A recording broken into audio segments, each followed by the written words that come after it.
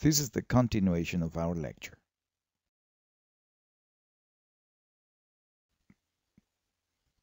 Electric charges, they exist inside an electric field. For them, up and down, higher or lower, above or below, those are words that depend on where they are inside the electric field. We measure heights, electric heights, not in meters, we measure them in volts, V, with respect to a reference level that is completely arbitrary. Arbitrary. We measure drops between two points, also in volts difference in electric heights, like this one. We say the drop from A to B is the height of A in volts minus the height of B in volts as well. The point is that voltage is the electric height of a point in the circuit with respect to a reference, a reference point that is absolutely arbitrary. In the past, electric power networks were the only components the electrical engineer would work with, and they were connected to the planet, to Earth, to ground. So it made sense to choose the planet as the reference for volts. The zero volt point, that was arbitrary. And it still is in electric power networks. Ground is the reference node. However, in cases like an iPod or an iPhone, in those cases, the device is not connected to the planet, so it doesn't make sense talking about, but in that case, we choose arbitrarily any point in the circuit of the device as the reference one. Yes, I know it is customary to call that reference point, whatever that is, still the ground sometimes, even though it's not really connected to the planet. Arbitrarily chosen, and we stick to it. Once we choose it, we don't change it for the rest of the solution of the circuit. Now, heights and the electric field. Please notice the asterisk in this sentence. Positive electric charges, they slide downhill. Like skiers, eh? Or like snowboarders. They slide downhill, pulled down by the electric field. Imagine these devices which we have not introduced formally. In each one of them, I have um, represented with this plus and minus which one of the two terminals is electrically higher in volts. In this case, this terminal of the device is higher than this one, more volts and in this case this terminal is higher than this one electrically speaking all right? And this one is higher electrically than this one. Well as we've said that positive electric charges they roll downhill. So electric charges across this element will flow this way from high to low. And on this one also from high to low. And in this one from high to low.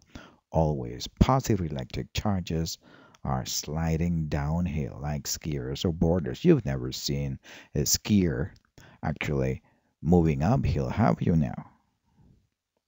They always slide downhill. Well, come to think of it, that is true unless they are riding a source, like a skier riding a lift chair, eh? Well, for electric charges, a lift chair is a source. They write the source uphill, pushed by the source itself. We can be represented in electric circuit theory with symbols like this one. In each one of these sources, we are representing which of the two terminals is higher. In this case, this is higher than this one. In this case, this side is higher than this one. And in this case, this side is higher than this one those sources will try to push electric charges uphill like that, like this, like a lift, eh? Sometimes they will not succeed, but we will talk about that later. They try. Well, it is the drop between two points in the electric field that actually determines that charges will slide down through the field. They flow downwards. That flow of electric charges is what we call the electric current, charges in motion. Electric current is measured in how many coulombs pass by through a checking point per second. We measure that, of course, in coulombs per second, and we call that unit ampere, also amp. A current of skiers would be how many skiers pass by a checking point per second. We would measure that in skiers per second, eh? Well, but the question is, I put an asterisk in that sentence before that says positive electric charges, but actually who is who's moving? At first, scientists thought that it was positive charges, the ones that were moving, and they were moving downhill. Up to Ben Franklin thought that. But actually, nowadays, we know that positive electric charges inside conductors are firmly bound to the structure of the material. They are very unlikely to move. The ones that are moving inside a conductor are most of the time the negatively charged electrons. And they move uphill. Interesting.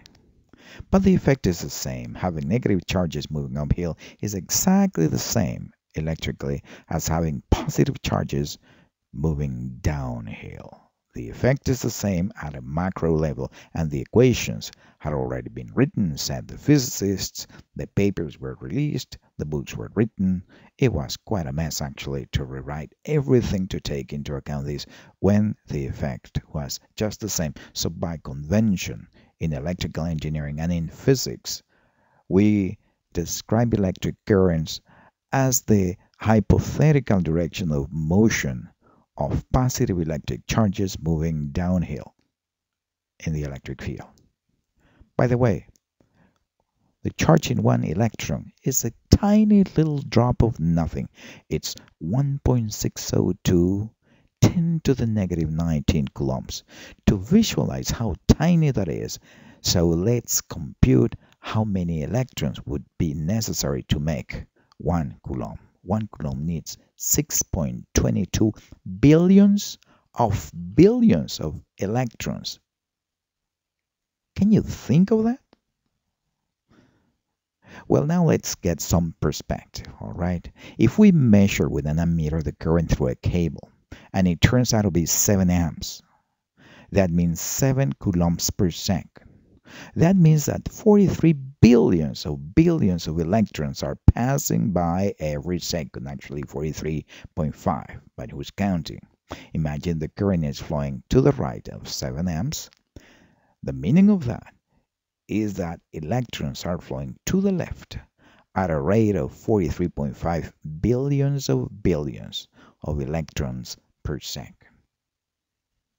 We almost always ignore the bottom and we consider in technology only the top.